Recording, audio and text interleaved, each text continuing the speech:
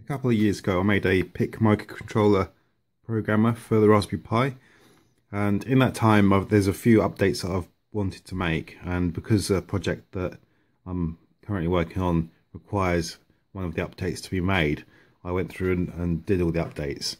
And I'll, in this video I'll go through first of all the, the differences between the last version and the current version. And I'll go through on the circuit diagram how, how it was implemented electronically and then lastly I'll go through the software updates and a demonstration of the software at the end of the video.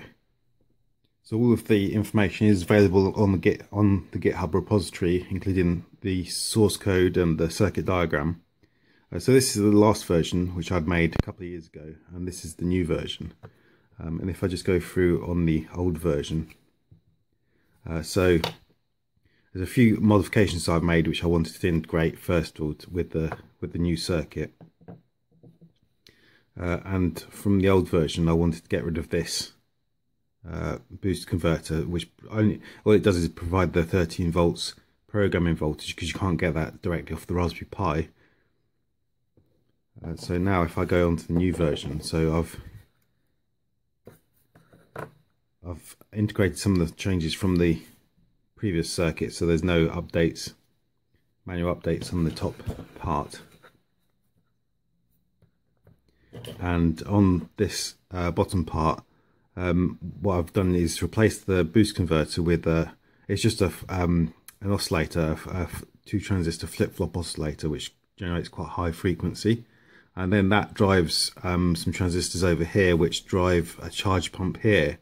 And that the output of the charge pump goes to a Zener diode, which is a 13 volt Zener diode. And that provides a 13 volts for programming voltage for the actual uh, PIC microcontrollers.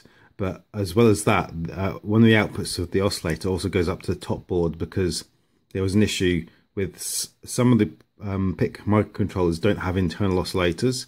So in this part of the circuit, I've got like a test switch and a test LED, uh, and I've I've written test programs for each of the microcontrollers which are supported, uh, and that test program is in a directory in the source code, uh, which is on GitHub uh, and that's it, that's available there as the actual original source code and also the compiled um, code uh, for each of the microcontrollers which are supported. Uh, and all the the uh, test program for each microcontroller does exactly the same thing. So you press this button and then this LED flashes three times. And that provides a way of just verifying that the programming is working for that microcontroller. So if for example I was um, developing a project uh, and I was having problems getting the program running, I could rule out the uh, actual microcontroller and the programming process for the microcontroller by just loading up a test program, running it, and then I know at least that the, the microcontroller is working properly uh, and it actually is it, it's running on this circuit as well. So the test programs, they use the internal oscillator on the microcontroller where they can, or they use this external oscillator to drive the microcontroller um, if there isn't an internal oscillator available. And much of the rest of this circuit is, is very similar to the original, uh, so the actual uh, programming uh, part of the circuit is the same. Um, when you power on, so you can power on uh, the microcontroller for to be able to test it, uh, and the power on used to just power up the uh, the or the supply voltage for the microcontroller. Uh, but when you powered it off, because through the other pins you can get the voltage going back through the ground pin, it kind of half powers up the microcontroller, which was a bit of an issue.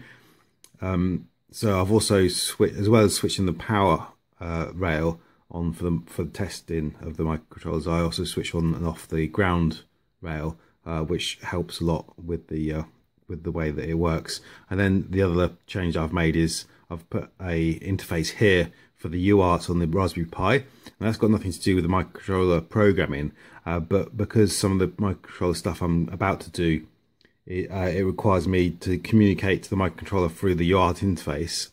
So because they're on pins over here, and I want to develop the, actual code on the same uh, Raspberry Pi that I'm actually doing the PIC programming on, so I've taken the outputs from here to here, but not directly to here because the Raspberry Pi operates off of 3.3 volts. And when I'm using a PIC microcontroller in circuit, I'll probably want to drive that by 5 volts. So the output of the UART interface will be 5 volts. So I've also got some transistors and resistors in here to do level shifting so that I don't um, break the Raspberry Pi by putting 5 volts across the, the UART interface. And as you can see here, I've made a couple of mods already on this version, which I've put on the um, on the circuit diagram. Uh, but um, it's not worth me rebuilding another one of these circuits um, just for these two mods. So next time I make a new version, uh, which I've got no plans to do at the minute because I can't. There's nothing else I want to put on there. Uh, but next time I, I, make a new version, then those will be already integrated into the circuit. So this is the circuit diagram. As I said, this is in the GitHub repository. Uh, so if I zoom into this to make it a bit easier to see. Uh, and in the top left corner.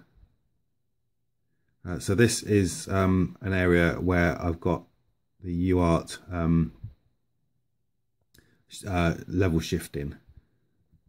And uh, it's very, it's pretty simple. So on the RX uh, side of things, uh, I've got an input transistor here, which um, is pulled up to this 3.3 volt level.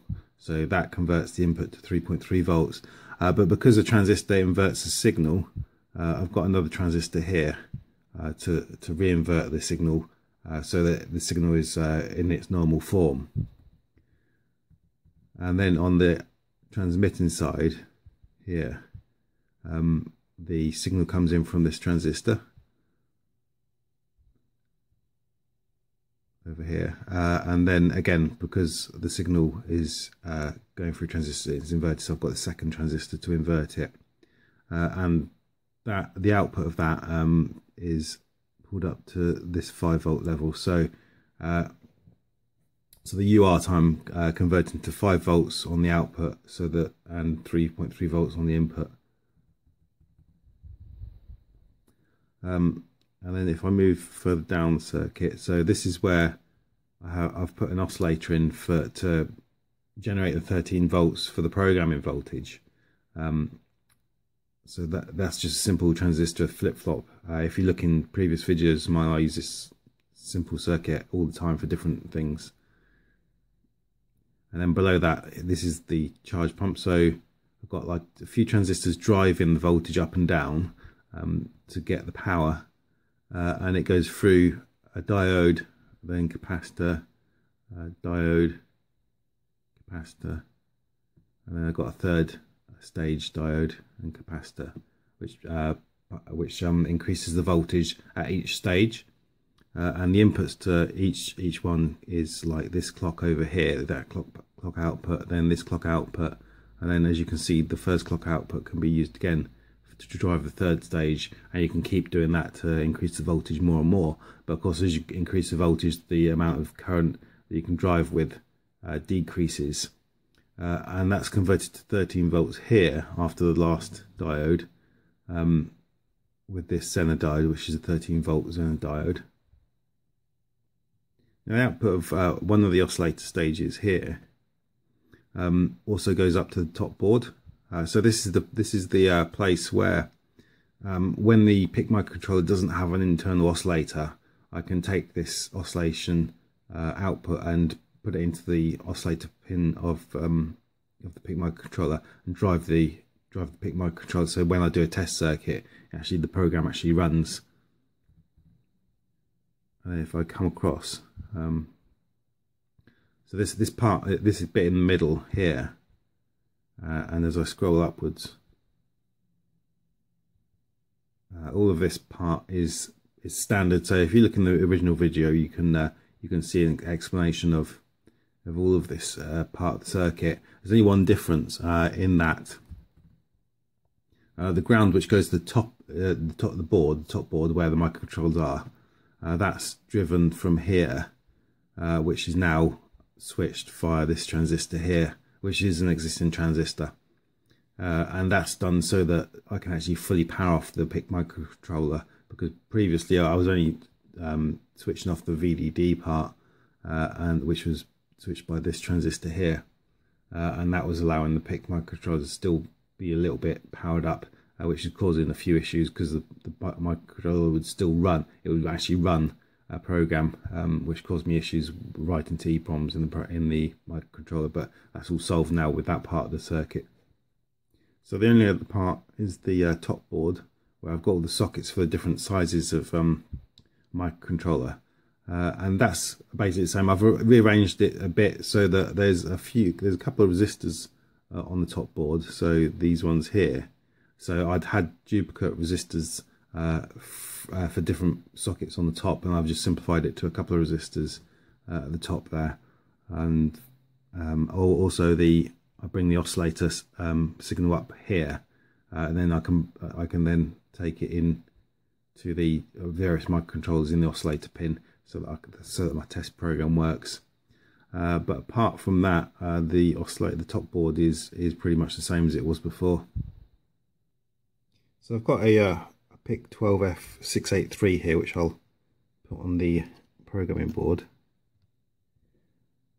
And um, I'll just go through some of the features of the software. So I've done some updates which might actually make it a lot quicker uh, and um, a, more, a, lot more reliable to use. So these are the supported um, devices. So here's the 12F683. So if I go um, display minus D with the device number and it shows you what's in the memory. And so all the memory bits are, are clear. And down here you can see it actually reads the information about the device from the device. So it can verify that you've got the right device in the programmer. Uh, and this is all the program memory up here and it's all blank. Uh, but you can do uh, if you don't, don't want a big display you can just do a, a minus B for a blank check and it will tell you if the various parts of the device are blank. And when so up here where it says uh, not blank, that's for the device ID. So the device ID won't be blank, um, but everything else is blank in the chip. Um, and then I can do this, I can write, and I can write from the test program. Uh, so in the test ASM directory is where all the test programs are. And 683, and then just write the hex file um, to the device. And then you can do uh, if you go up if you edit that line and just change the W to a V to verify that verifies the uh, device. Uh, so what's in the device memory with the with the hex file which you originally wrote and you can see that all the passes. Um, but if you if you got code protect and data protect on the in your program configuration uh, then it won't be able to verify because it, it won't be able to read the data back out of the of the microcontroller so if I power on the, the device, um, minus P, uh, then when I hit the uh, test button, you should see the test LED flash on and off uh, three times, which verifies that the actual microcontroller is working. So now, even so, I'll power off again. Um, so now, even for the um, devices which don't have an internal clock, because uh, I'm bringing the oscillator up from my from my programming board, I can actually test those as well.